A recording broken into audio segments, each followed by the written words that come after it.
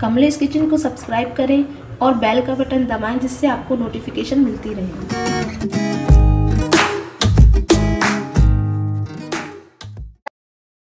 नमस्कार, कमलेश किचन में आपका स्वागत है।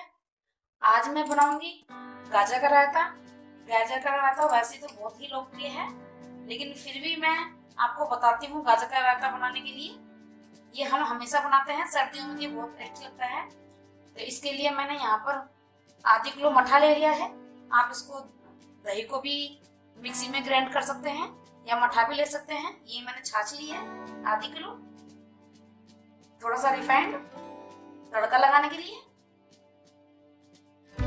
आधी चम्मच व्हाइट नमक है, आधा चम्मच ब्लैक नमक है, आधा चम्मच जीरा। ये पुदीना के पत्ते हैं सूखे हुए। आप चाहे तो हरे पत्ते भी ले सकते हैं। आधा चम्मच मिर्ची लिया यहाँ पर।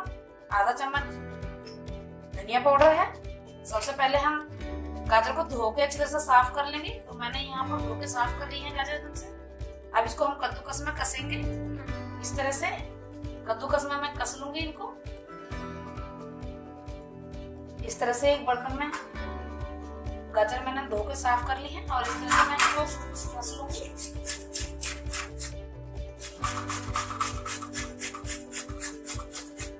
ये बहुत ही जल्दी बन जाता है और खाने में भी बहुत अच्छा लगता है। इस तरह से हम इसको सारी गाजरें कस लेंगे। तब तक गाजर कसते हैं। कुकर में मैंने एक गिलास पानी चढ़ा दिया है। गैस जला दूँगी तब तक पानी गर्म होगा। इस तरह से पानी गर्म करने के लिए रख दूँगी अब मैं गाजर कस लेती हूँ सारी। गाजरें कस के तैयार है और मैं कुकर में डालूँगी सारी गाजर। इस तरह से पानी भी गर्म हो चुका है। और मैंने सारी गाजरी भी डाल दी इसमें। कद्दूकस करके। यहाँ पर मैंने आधी किलो गाजर लिए थे। आप अपने अनुसार ले सकते हैं।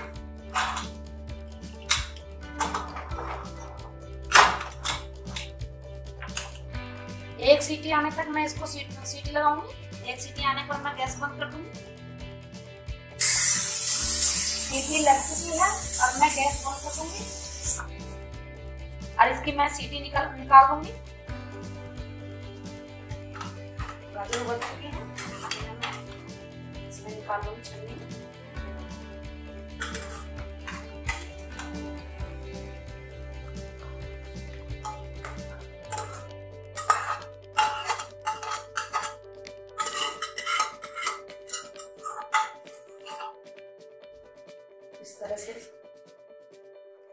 निकाल लिया है इसे मैं थोड़ा सा ठंडा पानी डाल दूँगी।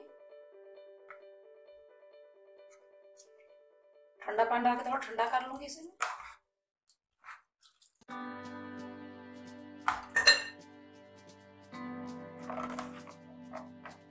गाजरों को मैं अच्छी तरह से निचोड़ लूँगी, इसका सारा पानी निकाल लूँगी। इस तरह से।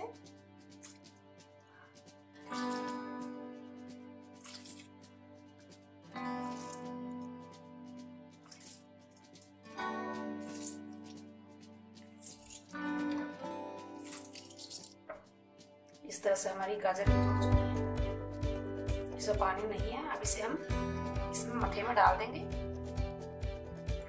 इस तरह से सारी गाजर निचोड़ लेंगे।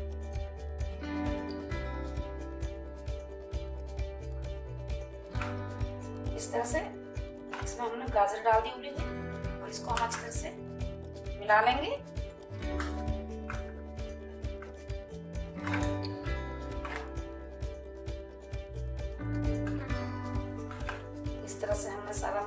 गाजर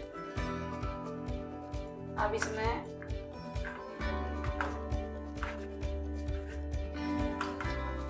देख सकते हैं आप, सारा गाजर इसमें मिल चुकी है। अब इसमें मैं डालूँगी, इसमें डालूँगी मैं मिर्ची। आप अपने स्वाद अनुसार डाल सकते हैं। मैंने यहाँ पर आधी, आधा चम्मच लिया है।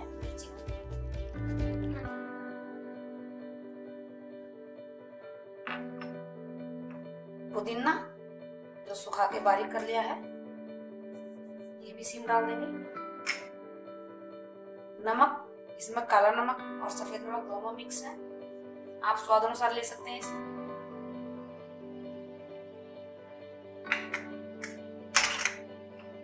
धनिया पाउडर। यहाँ पर मैंने हरी मिर्च ली है। आप चाहें तो ले सकते हैं, नहीं तो नहीं। अगर आप खाते हैं तो लें, वरना नहीं। इस तरह से।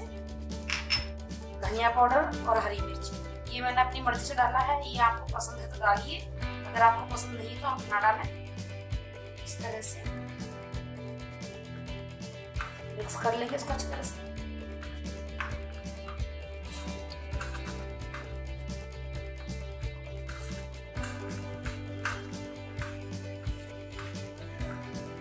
अब हम एक इस तरह से एक पैन वो लेंगे बर्तन।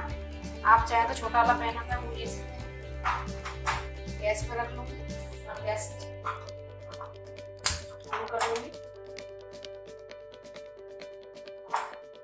मैंने यहाँ चमचे का इस्तेमाल किया है, इसमें थोड़ा सा तेल डाल लूँगी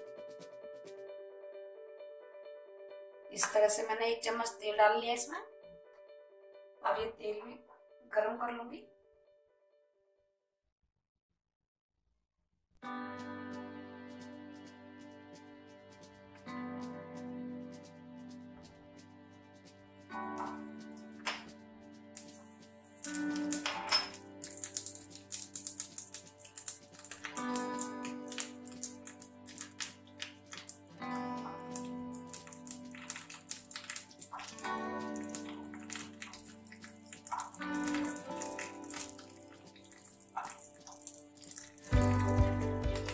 तरह से देख सकते हैं आप। मैंने इसमें जीरा भून लिया है और इसमें अब मैं डालूँगी।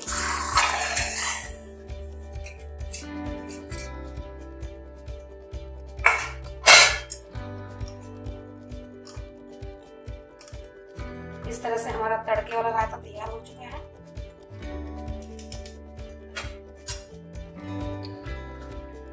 इसमें ऊपर से थोड़ा सा धनिया और डाल दूँगी अब मैं इसे अलग से बर्तन में निकालती हूँ। गर्मा गर्म रायता हमारा तैयार है। आप चाहे तो इसे फ्रिज में रख के ठंडा भी कर सकते हैं या ऐसे भी खा सकते हैं। अगर आपको मेरी वीडियो पसंद आए तो मेरी वीडियो को लाइक कीजिए, मेरे चैनल को सब्सक्राइब कीजिए और कमेंट्स बॉक्स में जाके कमेंट्स दीजिए।